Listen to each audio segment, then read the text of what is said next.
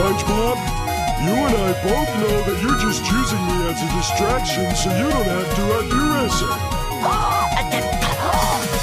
that is not true. I called to have an engaging conversation.